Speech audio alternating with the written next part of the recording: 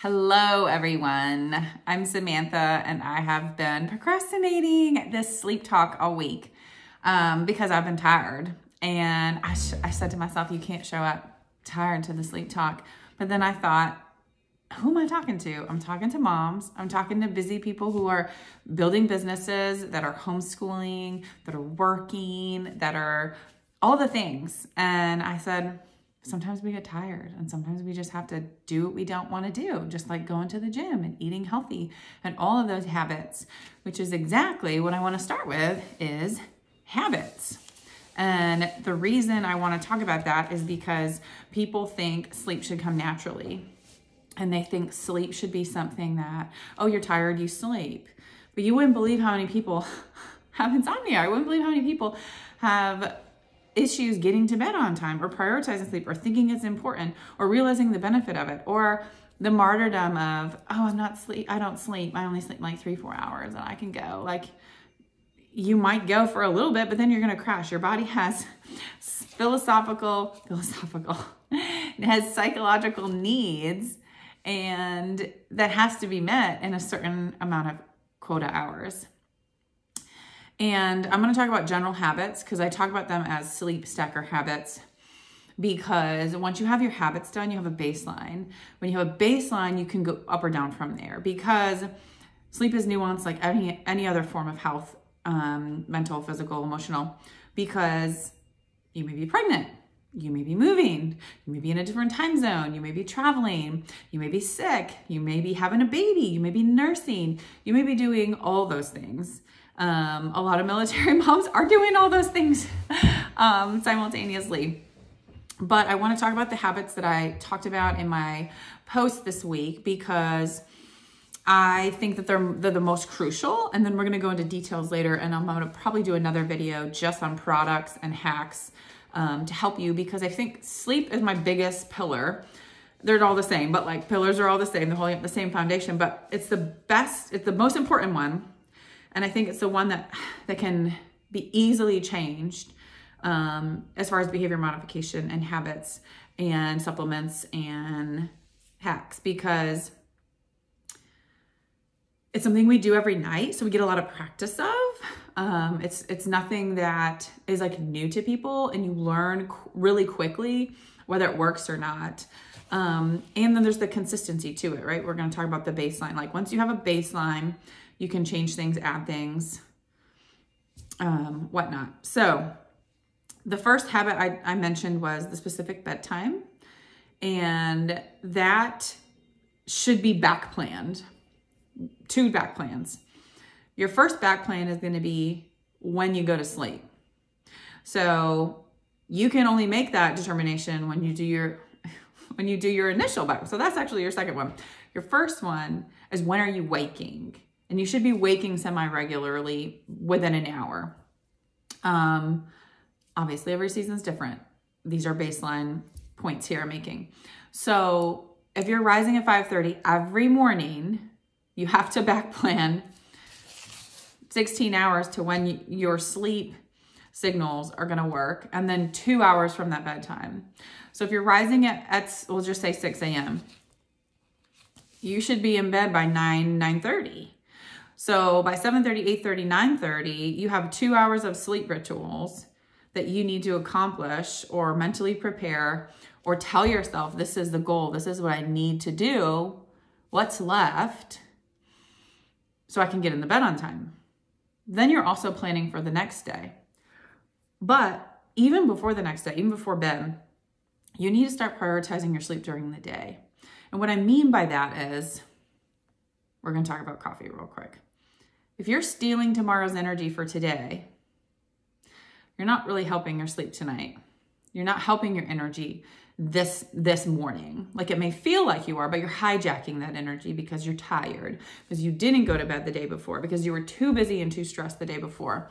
So when you start thinking about your days and you're up late at night and that's why you're drinking coffee, you're not going to bed and you're prioritizing a lot of other things or a lot of other people, good or bad. Good things and good intentions can still be a giant distraction um, from your mental and physical health.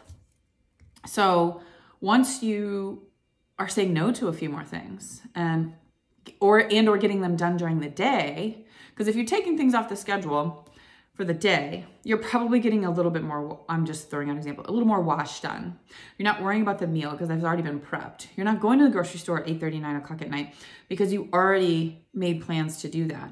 So there's a, a, a bunch of little habits here that we need to, to reel in because that's going to make a huge difference when you get ready for bed 8 30, 9 30, 10 30. I say earlier times because I think that's ideal, but like some people are getting to bed at midnight. That's fine. But at 10 30, 11 30 at night, you shouldn't be worrying about the meal the next day. And if you are, like, that's a goal for you to, to fix the next day because you're never going to fall asleep if you're worrying. You're never going to fall asleep if you're if you're kicking yourself going, "Oh my gosh, the sink is filthy. No one unloaded the dishwasher. The counter's gross. I have to wake up in the morning and start my day like this. I have no meal prep for work tomorrow." And you just start going and going, right? Um, and a lot of times Sometimes that it's that. A lot of times it's your own sabotaging. So that's going to go into another one. We're going to go into a couple of them. They're going to all kind of mesh together. So Netflix and chill, not going to beat this up.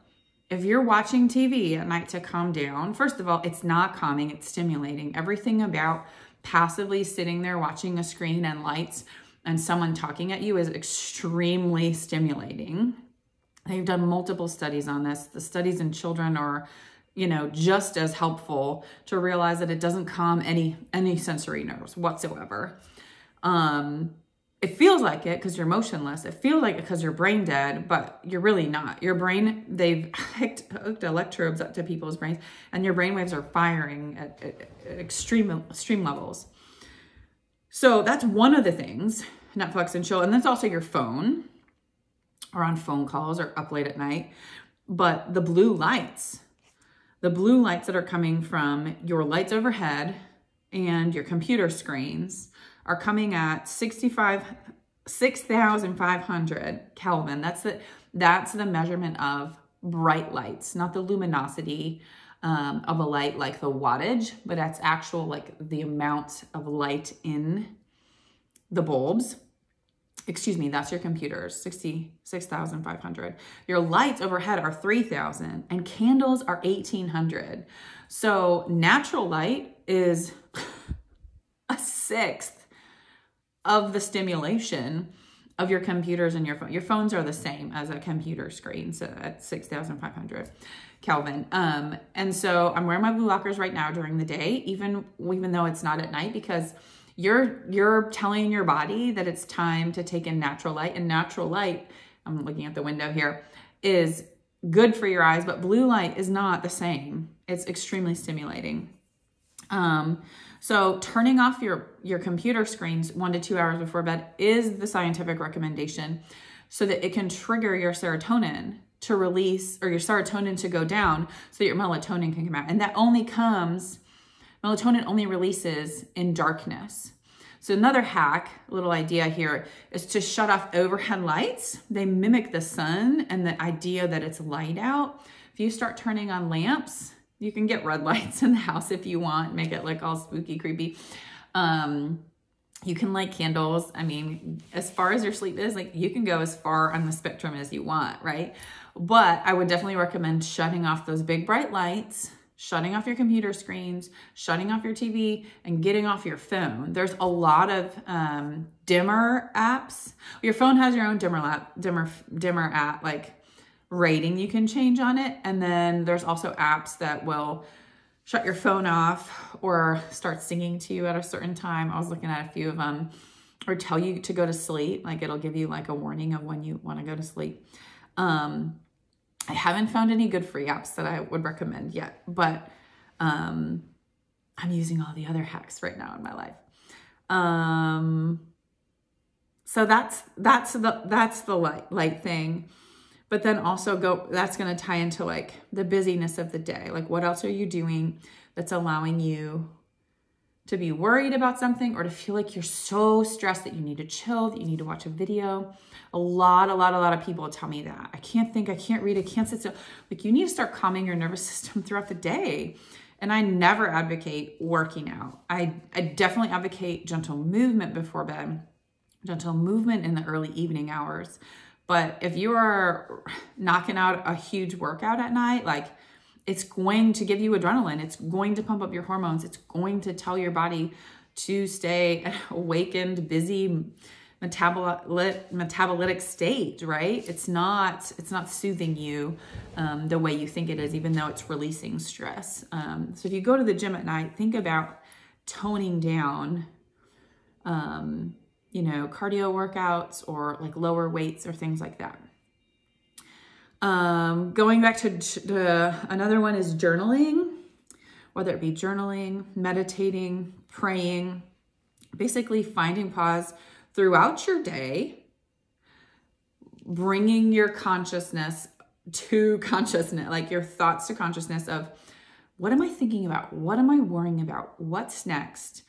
Really checking in with yourself because once you do that, there's not this like waterfall of emotions at the end of the day. Whether, because if you're a mom, your life's a little unpredictable. Like somebody's gonna throw up like somebody is going to knock that milk all over the floor and you're going to be mopping the whole kitchen and that was not part of your plan.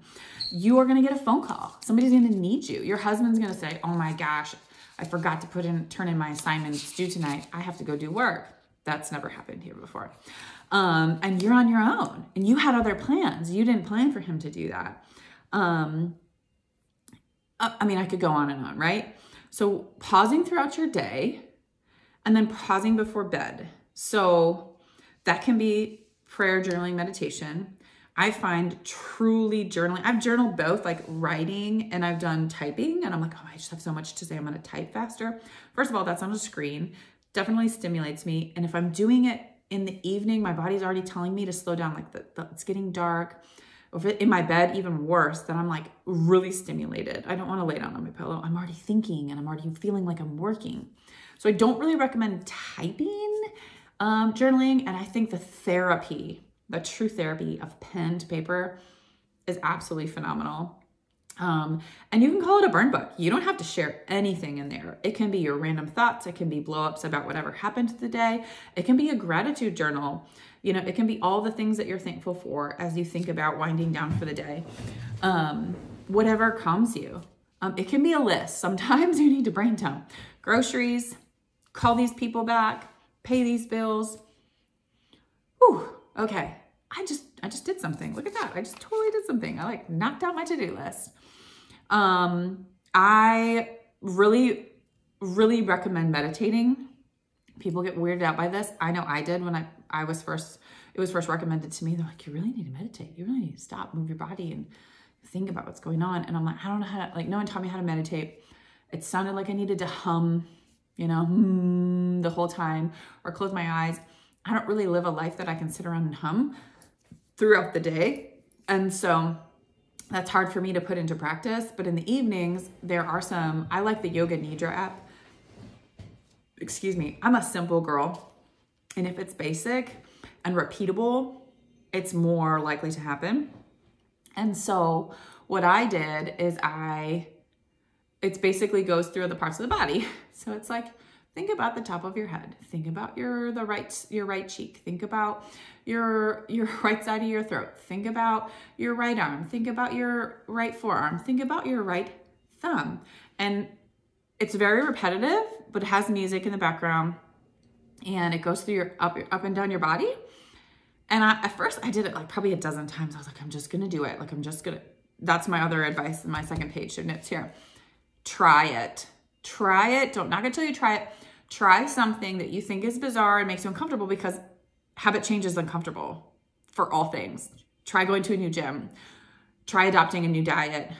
Try putting a different kind of style clothes on that isn't you at all, right? Those things are all going to change you because you're going to have, you have this perspective, you have this influence, internal influence. And after like the 12th time, I'm telling you, it took a dozen times. Like, I was like, oh my gosh, my whole my thumb just relaxed. I totally am relaxed.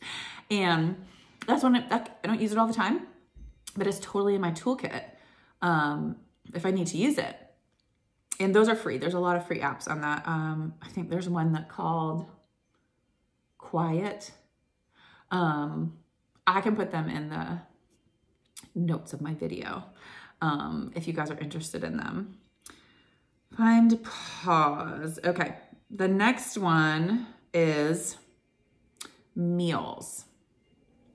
And I'm to try not to talk about my other pillars, but everything inter interconnects with health, which is what I love, right? Once you fix one thing, you're stat hacking, stacking habits for the next thing for your success to decrease stress for your better health. Okay. So meals.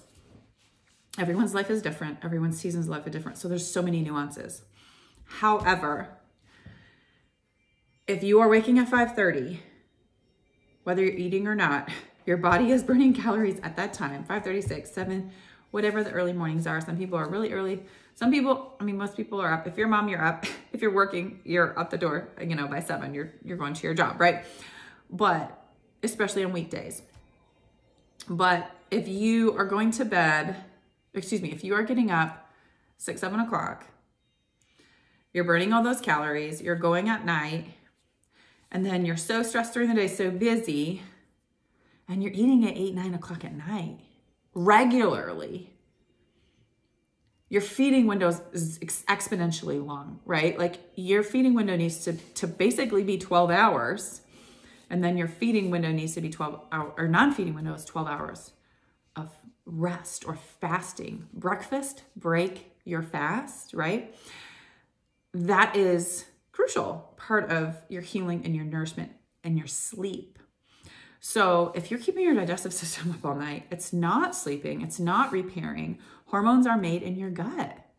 Melatonin is signaled from your sleep. If you're eating and you're telling your body to do this other work, how are your other hormones connecting, right? All of these hormones are signaling to each other to get to work in this beautiful cascade of harmony, right? So I highly recommend pushing your feeding window back into that one to two hours before your bedtime. So we're saying we're up at six o'clock, we're in bed by nine. We should be stopped, we should be finished eating around seven. Also, habit stacker, this keeps you from snacking. This keeps you from eating high caloric meals because at night, all your, your leptin hormones, your, all your hunger hormones, you're tired. If you're more tired, because you should be naturally tired at night, you are more apt to eat something you shouldn't eat. So if you're moving your feeding window to more rested hours of the day, you are making more active decisions in those eating windows than you are if you are sitting around watching. Oh, and it's known fact that you're eating more in front of a screen. Known fact. Um, so much data around that. So be aware of those things. Those are triggers, and those are easy habit breakers once you realize, first of all, the benefit of it and you practice it regularly. Because at night, your whole family should be getting ready for sleep. Your kids are getting ready for sleep. I found my kids had a better nighttime routine when they watched me get ready for bed. So come seven o'clock, they're like, put your clothes in the hamper and do this and brush your teeth. They followed me to my room when they were little. They watched me put my jammies and my clothes in the hamper and brush my teeth and wash my face and brush my hair. And they were like staring at me like, oh my gosh, I never saw her do this before. And it occurred to me that I was saying it, but I wasn't modeling it. And kids are the biggest modelers.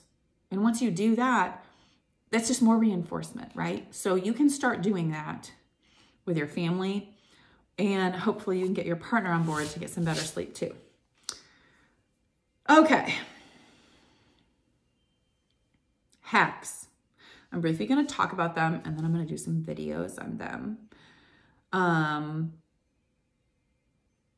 back up. I'm going to back up real quick. I want to talk about a little bit more about what goes on during your sleep um, and how you know you have good sleep.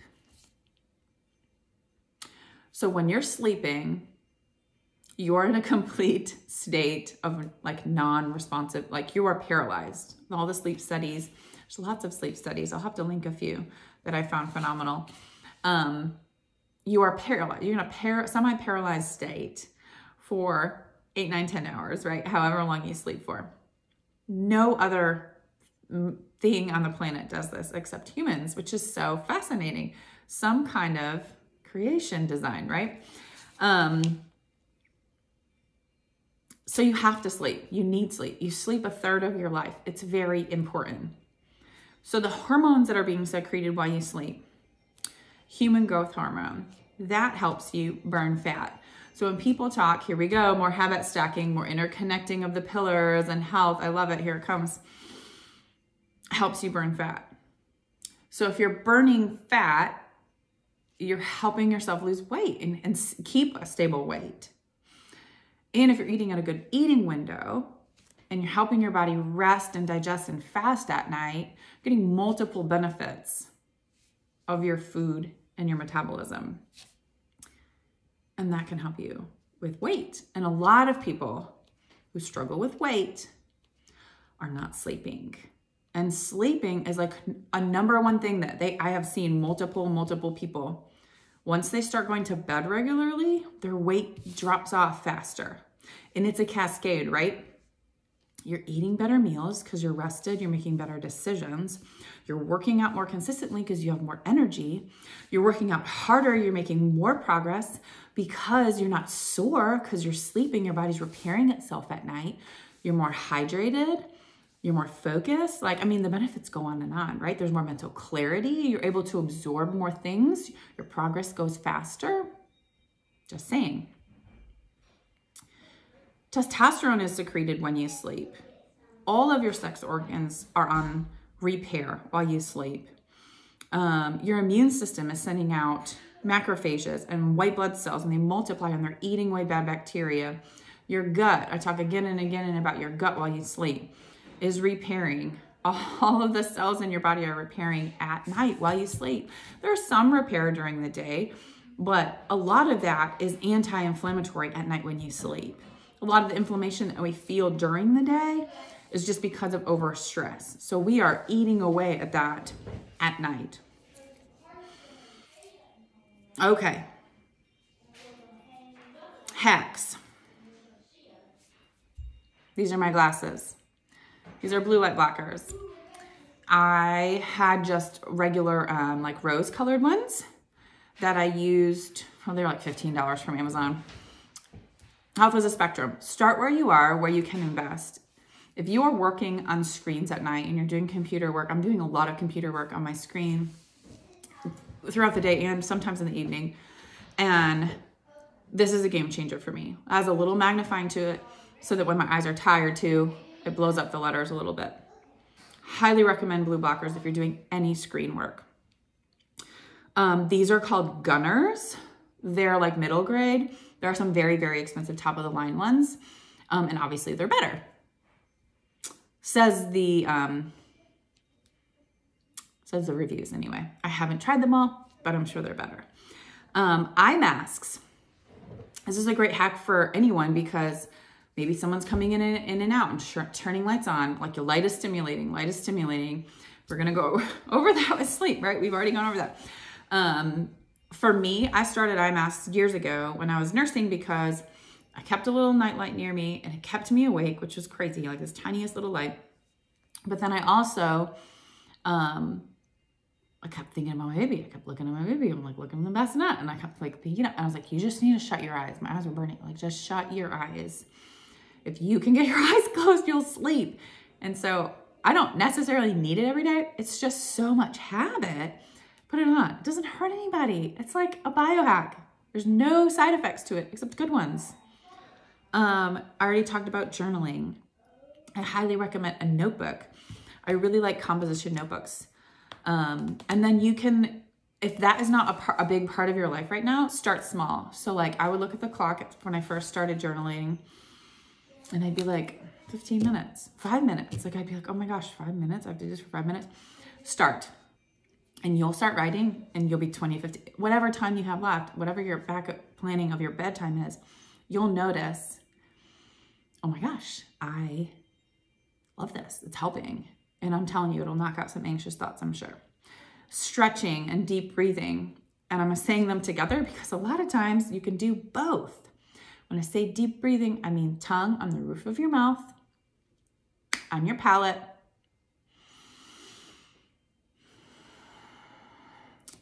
deep inhales, and deep exhales. You can't not calm your nervous system down and open up your lungs when you're deep breathing with your mouth closed and your tongue on your palate. Try it. You will believe me. Stretching, I like rocking motions or movement stretches. So if I can keep my body moving, it's warming it up. Um, but it's also a calming movement for me. Um, that's why I, I, like when I say stretching, I also mean like maybe yoga poses or cat cow or bird dogs, something that's not necessarily stimulating, um, runner's lunge, things like that. Um, they're warming your body up as well. Essential oils can be a really helpful tool. I, um, I used to put them on all the time with my babies because I used all the things to try to get the best sleep, but they were calming. And then a lot of users have those pretty light. Sometimes they change. That's super calming, non-stimulating light. And that can kind of, you can put music on next to the lights as you smell the aromatherapy. And I'm telling you, if you need oil recommendations, I've tried a ton of companies. Please DM me. Reading, reading, reading, reading. Two things. Three things. Some people hate to read. It's so sad. Reading can be so therapeutic. It can be so good for your personal growth. Um, and it can be so calming. Um, and you can read and take a salt bath and drink your herbal tea at the same time. Like we are stacking these sleep habits like awesome. So what I recommend is read something you like. That's a no-brainer. Some people really struggle with that. Some people get a book recommendation all their friends loved and they feel left out because they don't love it. You don't have to love it. You can start a book that you bought and go, oh my gosh, I don't like this. Stop reading it. It's stressing you out. It's frustrating you. Um, ask around, Google that stuff, YouTube that stuff, find book lists. Like everyone puts out a book list. The New York Times, Women of the Month, um, you can read, uh, you know, different themes of the month. There's like Heart Book Month and Valentine Month and ground. You read books about Groundhog's Day in February. Like, um, The Economist puts out books. Um, what a magazine? I'm thinking I don't read a lot of magazines. um, I'm sure there's gardening books. I mean, whatever it is, fiction or nonfiction, read something you enjoy. If you're reading nonfiction, says the big nonfiction reader, don't read something that's so intense that you're borrowing like more trouble in your life that you're like, oh my gosh, that was so real to me all of a sudden. Um, salt. Um, yeah. Salt baths. Couple things going on. You have aromatherapy if you're using a um, aromatherapy in that, or if you're just using a regular. You can make a salt. He's making an LMNT. My kids drink LMNT because it's good. What is that? Where is it? It's in the cabinet over here. In the box, in the gray box. Um, as we're talking about salt, perfect. So Epsom salts, you can get them pretty much anywhere. Um, if you're taking, to me, if you're taking a bath.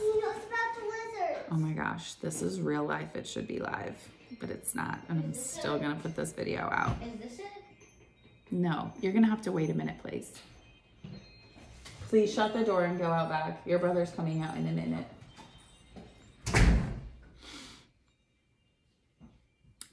If you're gonna take a bath, I suggest putting a salt in it. First of all, magnesium is super coming to your muscles.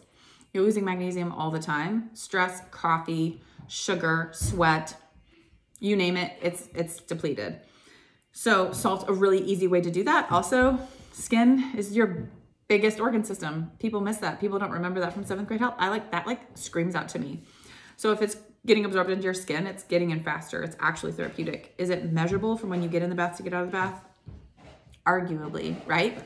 It's also heat. So heat is is vasodilating. It's comforting you. It's relaxing your muscles, relaxing your brain. Um, all those things. It's putting you in a position of not of, of not stimulating, right? Like your nerves are calming down, you're probably quiet, maybe you're alone, it's probably dark or dim, right? You're shutting the door, you're feeling maybe the world's not getting you. And that's to me another huge benefit of your positioning. Um, and then you can sip your herbal tea. while you're doing that and read a book if you're if you're super talented and you can't get your book wet. Um, I take some practice initially, but I did it. Um, lastly, mouth tape. I'm gonna do a little video on that. Mouth tape is very confusing because I'm gonna do a little bit more about my breathing um, strategies and how that can help calm your nervous system and why mouth tape is a game changer for how you breathe. And how you breathe, super autonomic, can be controlled with this tiny little biohacking tool with a little piece of tape on your mouth. And I'll get into that later.